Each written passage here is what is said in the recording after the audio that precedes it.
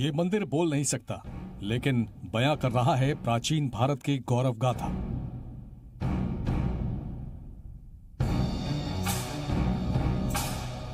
मंदिर की दीवारें खामोश हैं, लेकिन उन पर उकेरी गई ये तस्वीरें गवाह हैं उस काल के गहरे ज्ञान की, जिसे देखकर आज का विज्ञान भी मौन हो जाता है।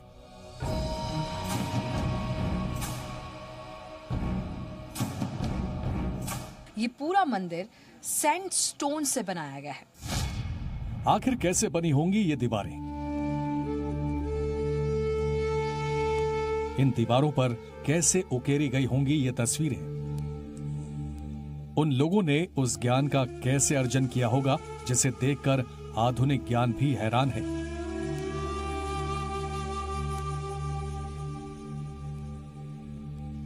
मंदिर के नीचे क्यों बनाई गई सुरंग? सवाल कई हैं लेकिन जवाब किसी के पास नहीं है। इस मंदिर के आधार पर ही कांचीपुरम में दूसरे मंदिर पूरे दक्षिण भारत में दूसरे मंदिरों का डिज़ाइन इस मंदिर के आधार पर बनाया गया। आज हम आपको ले चलेंगे तमिलनाडु के सदियों पुराने शहर कांचीपुरम जहाँ के पत्थर गवाही देते हैं कि सदियों पहले ये शहर कितना खूबसूरत रहा होगा जिसकी खूबसूरती बढ़ाते थे ये मंदिर। शहर बोलते हैं, दक्षिण भारत में, कांचीपुरम में हिंदू जो समुदाय है, उसके दोनों ही समुदाय, शैव समुदाय और वैष्णवी समुदाय, दोनों के ही, वैष्णव और शैव दोनों ही मिलकर के इसको अपना होली स्थान मानते हैं।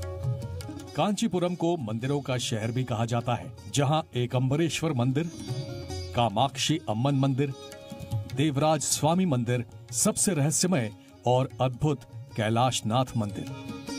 भगवान शिव को समर्पित लाल बलवा पत्थर से बना ये मंदिर जितना खास है, उतना ही रहस्यमयी है।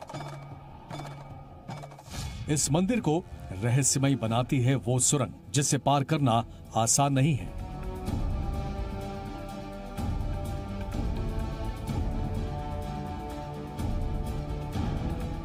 इस मंदिर के नीचे एक सीक्रेट टनल है। उस टनल में जब कभी राजाओं की लड़ाई होती थी, क्योंकि पल्लव शासकों ने इसे बनाया है, जब कभी लड़ाइयाँ हुई या युद्ध के दौरान राजाओं को छुपना होता था तो वो इसी मंदिर में पहुँच उन सीक्रेट टनल से अपने आप को बचा लेते थे। आगे हम आपको उस रहस्यमय गुफा के बारे में बताएँगे, लेकिन उससे पहले इस मंदिर को जान लीजिए, जिसकी वास्तुकला हैरानी नहीं करती बल्कि यहाँ बनाई गई मूर्तियाँ उस काल की तकनीक को लेकर कौतूहल भी पैदा करती है कि मामूली उपकरणों से ऐसी आकृति कैसे बनाई गई होगी। ये नेचुरल कलर ये ये नेचुरल कलर ये वेजिटेबल फ्रूट का जूस पत्ता को इसको मिला करके ये पेंट किया। ये भी ये भी एक हज़ार चार सौ वर्ष।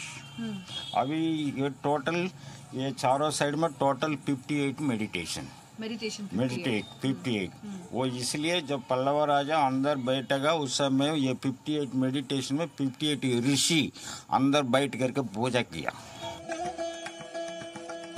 आपको यहाँ याद दिला दें कि कैलाशनाथ मंदिर महाराष्ट्र के एलोरा में बने कैलाश मंदिर की भी याद दिलाती है। इन दोनों की अपनी अलग अलग खासियत है लेकिन जो एक बड़ी समानता है वो ये है कि दोनों ही मंदिर भगवान शिव को समर्पित है। कांचीपुरम के कैलाशनाथ मंदिर को भारत का पहला ढांचागत मंदिर माना जाता है। ये जो मंदिर है, ये सभी रूपों में कंप्लीट है, क्योंकि इसके अंदर सारे पार्ट्स हैं। गर्भगृह है, अंतरालय है, मंडप है जो मुख्य द्वार है, वो है, और गोपुरम है। गोपुरम साउथ इंडिया के टेम्पल्स में बहुत इंपॉर्टेंट कंपोनेंट होता है। यहाँ ये समझना ज़रूरी है कि प्राचीन भारत में एक से एक बड़े मंदिरों के अवशेष मिलते हैं। फिर कैलाशनाथ मंदिर ही ढांचागत मंदिर क्यों है? दरअसल, पहले के मंदिर या तो लकड़ी से बनाए जाते थे, या फिर गुफाओं और पत्थरों की चट्टानों से बने होते थे। लेकिन कैलाशनाथ मंदिर उनसे बिल्कुल अलग था। इसमें नक्काशी के काम पर विशेष ज़ोर दिया गया। इसलिए इस मंदिर को पहला ढांचागत मंदिर माना गया। यह जो मंदिर बना, यह एक ट्रेंड सेटर बना, क्योंकि यह यह चट्टानों के एक बोल्डर के ऊपर बना था। यह वास्तविक पहाड़ी को काटकर इसे बनाया नहीं गया था। इस मंदिर की वास्तुकला दुनिया की बेहतरीन वास्तुकलाओं में से एक है। इसके डिज़ाइन में द्रविड़ स्थापत्य कला का इस्तेमाल किया गया है। यहाँ आपको बता दें कि द्रविड़ शैली दक्षिण भारतीय हिंदू स्थापत्य कला की तीन शैलियों में से एक है। वहीं इस मंदिर की नींव ग्रेनाइट पत्थरों से बनाई गई है। यही कारण है कि आज सैकड़ों साल बाद भी ये मंदिर ज्यों का त्यों खड़ा है। इतना ही नहीं, मंदिर की बाहरी दीवारों को बनाने के लिए बलुआ पत्थर का इस्तेमाल किया गया है, जिस पर बनी नक्काशियाँ कैलाशनाथ मंदिर की सुंदरता में चार चाँद लगाती हैं। तो ये जो मंडप दिख रहा हैं ये ये सारे जो मंडप एक साथ। ऐसे कुछ 58 मंडप हैं।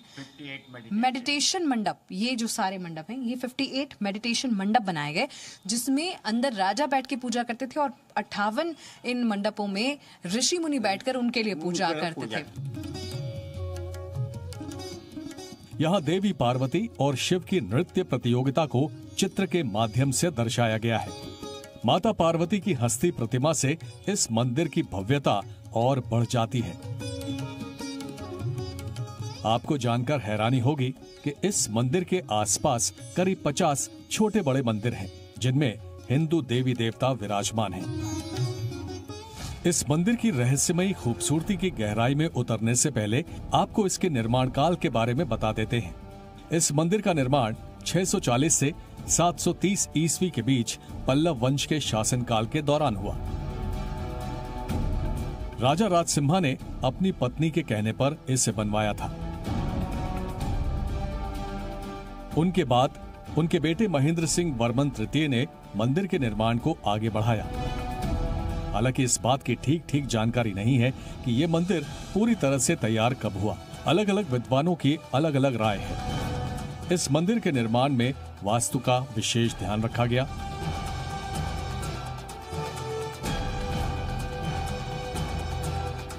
टेंपल में एक बहुत खास बात यह है कि जो इसका बेस है, वो ग्रेनाइट का बना है। ग्रेनाइट एक भारी पत्थर होता है और वो बहुत बड़ा वज़न ले सकता है।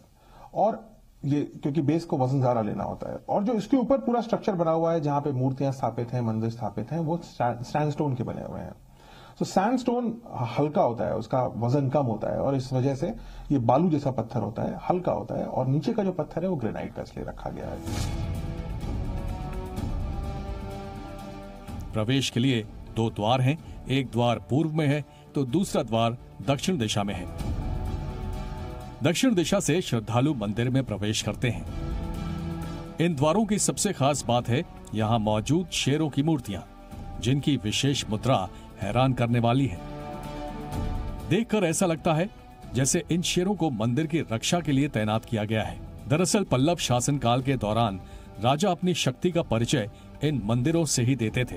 राजा कितना शक्तिशाली है, उसका खजाना कितना भरा हुआ है, ये मंदिरों की भव्यता से पता लगाया जाता था। इसलिए इस काल के दौरान के मंदिर काफ़ी भव्य हुआ करते थे। ये मंदिर निर्माण इस बात के सबूत हैं। उस काल के लोगों का वास्तु और गणित ज्ञान आज के दौर से भी कहीं ज़्यादा उच्च स्तरीय था। तभी तो आज हमारे पास तमाम आधुनिक उपकरण होने के बावजूद हम ऐसे मंदिरों के निर्माण की कल्पना भी नहीं कर सकते हैं। वैश्वनाथ बहुत पुराना टेंपल एक हज़ार चार सौ वर्ष का टेंपल। इसके पे ये ये सबसे पहले कागंजीपुरम सिटी के अंदर बना हुआ टेंपल। सबसे पहले बना हुआ मंदिर। हाँ। और उसके आसपास सारे टेंपल बनाए गए। इसमें ये क्या दर्शाते हुए मंडप में ये सैंडस्टोन का ये मूर्ति है शिवा टेंपल है। हाँ। शिवा पार्वती मिलेगा हर जगह पे। हाँ। पूजा किया हुआ डांस किया हुआ। ये योगा प्लेस ये योगा। ये पल्लवा टाइम में ये योगा किया हुआ प्लेस। अच्छा यहाँ योगा किया? योगा किया। ये? पल्लवा हाँ पल्लवा टाइम में योगा ये तक किया। आराम से लेट करके यहाँ योगा एक्सरसाइज किया हुआ प्लेस शिव मंदिर होने की वजह से कैलाशनाथ में महादेव की ढेरों मूर्तियाँ मिल जाएँगी। लेकिन यहाँ जो सबसे ज़्यादा आकर्षित करता है वो है काले ग्रेनाइट पत्थर के बने 16 शिवलिंग जिनकी शिवरात्रि के मौके पर खास पूजा अर्चना होती है। चलिए, अब आपको ले चलते हैं इस मंदिर के सबसे रहस्यमय हिस्से की ओर, जिसके बारे में कहा जाता है कि ये सुरंग है, जिसे उस काल के राजाओं ने खुद को सुरक्षित रखने के लिए बनाया था। हालाँकि इस सुरंग की एक और बात प्रचलित है, वो ये कि वास्तव में यहाँ कोई सुरंग नहीं, बल्कि एक गुफा है, जिसे पार करने वालों को जीवन मरण से मुक्ति मिल जाती है। यहाँ ये भी कहते हैं कि एक रहस्यमयी टनल है। उसका क्या आधार था? वो इसलिए हम छोटा उम्र में कोई भी गलती किया हो उसका अंदर जाकर आएगा तो वो गलती माफ़ हो जाता है। ऐसा होता है कि नहीं ये बहस का विषय है लेकिन इस जगह पर आने वाले लोगों के लिए आकर्षण का केंद्र ये ज़रूर होता है।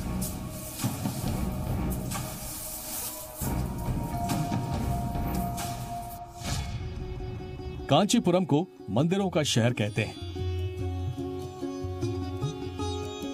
हर मंदिर की अपनी खासियत है और अपनी कहानी होती है, जो कि सातवीं, आठवीं सदी से जुड़ी होती है। एक अम्बरेश्वर जो मंदिर है, इसकी खास बात यह है कि ये जो पाँच भूत स्थल है, जो भगवान शिव से एसोसिएटेड है, उनमें से एक पर ये डेडिकेटेड है।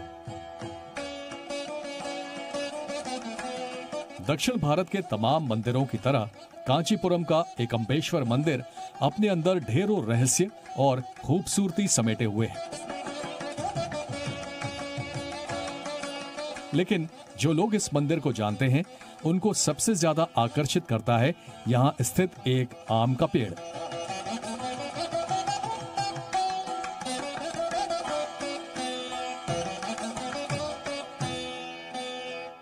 आप सोच रहे होंगे कि आम का पेड़ आकर्षण का केंद्र कैसे? अमूमन, एक आम के पेड़ की औसत उम्र 200 से 300 साल होती है। लेकिन बताया जाता है कि मंदिर के प्रांगण में लगे इस पेड़ की उम्र साढ़े तीन हज़ार साल है। यानी एक सामान्य आम के पेड़ से 10 गुना से भी ज़्यादा। कहते हैं, इस पेड़ के नीचे माता पार्वती ने भगवान शिव को पाने के लिए घोर तप किया था।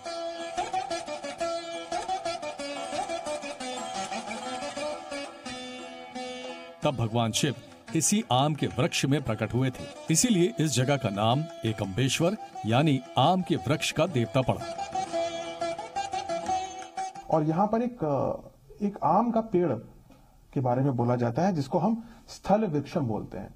और ऐसा कहा जाता है कि ये जो आम का पेड़ है, ये लगभग तीन हज़ार साल पुराना है। तीन हज़ार साल पुराना मतलब जो पृथ्वी पे सबसे पुराने पेड़ मौजूद हैं, उनमें से शायद ये एक पेड़ है। इस पेड़ से जुड़ी कहानी में कितनी सच्चाई है, इस पर तो हम दावा नहीं करते हैं। लेकिन हाँ इस पेड़ की कुछ ऐसी बातें ज़रूर हैं जो लोगों को अपनी ओर खींचती हैं। आस्था ऐसी चीज़ है जो मौन खड़े पेड़ में भी भगवान देखने लगती है।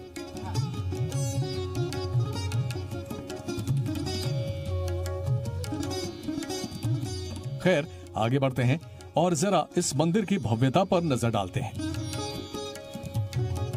40 एकड़ में फैले इस मंदिर की ऊंचाई 11 मंजिल इमारत जितनी है, यानी द्रविड़ स्थापत्य शैली में निर्मित ऊँचे मंदिरों में एक है। इस मंदिर की भव्यता का अंदाज़ा इसी से लगा सकते हैं कि मंदिर के मुख्य द्वार की ऊंचाई उनसठ मीटर है, जिसे कृष्ण देव राय ने बनवाया था।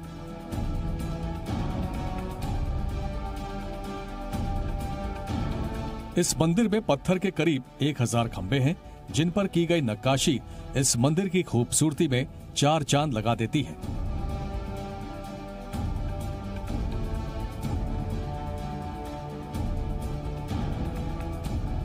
मंदिर की भीतरी दीवारों के साथ 1008 शिवलिंग स्थापित किए गए हैं।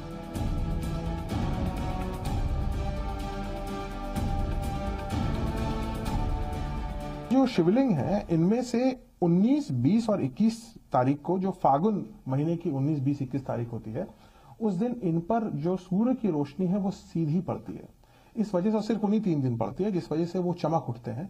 और उन्हीं तीन दिन यहाँ पर जो सबसे बड़ी पूजा अर्चना करी जाती है जो यहाँ का फेस्टिवल होता है वो मनाया जाता है।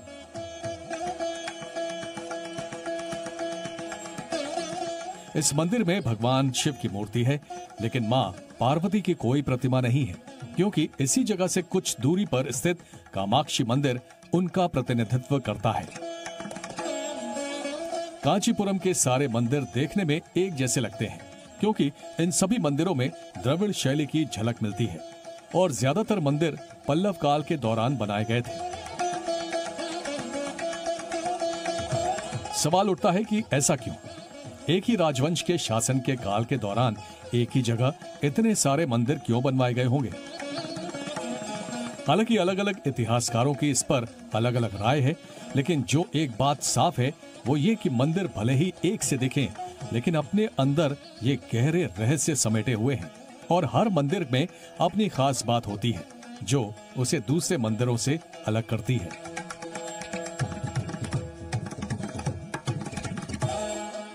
यह मंदिर जल के वितरण का कार्य करते थे, इस स्थान पर यह बैंक का कार्य करते थे, इस स्थान पर यह लोगों को जमा करने का कार्य करते थे या आश्रय देने का कार्य करते थे। अब तक हमने जिन मंदिरों की बात की, यानी कैलाशनाथ मंदिर एकम्बेश्वर मंदिर और कामाक्षी अम्मन मंदिर, ये तीनों ही मंदिर भगवान शिव को समर्पित हैं। लेकिन अपनी खास विशिष्टता की वजह से इनकी अलग अलग पहचान है। जो आने वाले लोगों को अपनी ओर आकर्षित करती है।